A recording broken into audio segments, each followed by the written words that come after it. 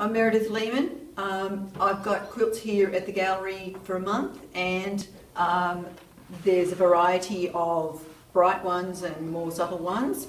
So my quilts are uh, combinations of classic uh, colour groups like the rainbow star here. This is a really interesting one because the background fabric in that one glows in the dark once you turn the lights off. Um, this one, the overlapping squares, the pale one here and the red one here and the green and purple one further down, they were the result of a workshop with Kaffe Fassett. The creamy coloured one just down here uh, was influenced by a friend of mine who'd made a quilt, um, a smaller quilt out of this technique, the small white squares with the corners of bright colours in scraps.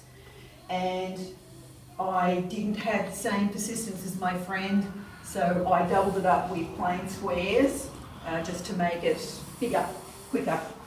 Um, the paintings, as I said, they're by my daughter. Um, she's doing interior design and decoration, so a lot of her pictures are like my quilts, they're decorating items. Um, the one over here that is red and uh, it's Civil War pattern.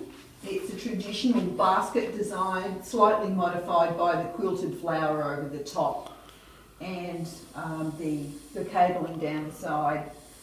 I've also taken an influence here from Japanese um, traditional clothing that is indigo dyed. In Japan, they never throw away any little bits of scrap, any bits of worn clothing are overlapped and tacked together and made into, uh, like we do the waggas here in Australia.